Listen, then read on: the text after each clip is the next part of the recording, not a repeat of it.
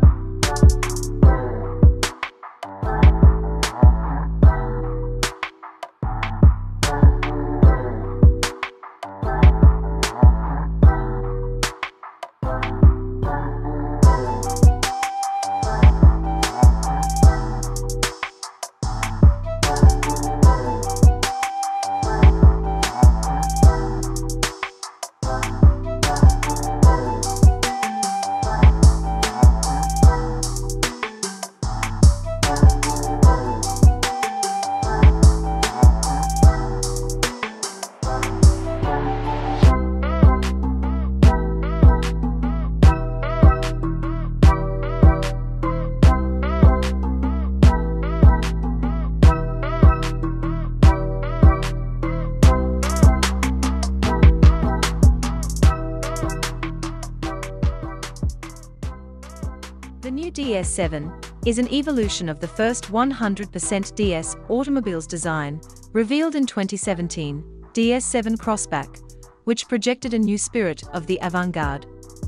Acclaimed for its unparalleled interiors, its remarkable refinement, and its cutting-edge technology, DS7 Crossback opened the way for new developments, now embodied by new DS7. The facelift model arrives losing the crossback suffix and bringing an updated design, new technologies, and a powerful plug-in hybrid powertrain.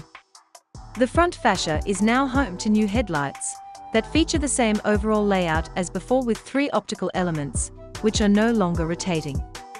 Instead, the clusters are upgraded to LED matrix technology and are now more powerful in both low and high beam modes. At the back, there's a new tailgate with DS Automobiles lettering, replacing the old DS7 crossback between the taillights. Inside, there's now a standard 12-inch display on the center console and below it, DS puts a familiar gear lever from the PSA Group era. Most new models of brands under the Stellantis umbrella have been upgraded with a new shift-by-wire switch, though DS keeps things a little old school in that regard. The new 12-inch screen, in turn comes with a new infotainment system, wireless Android Auto and Apple CarPlay functionality, and a night vision system.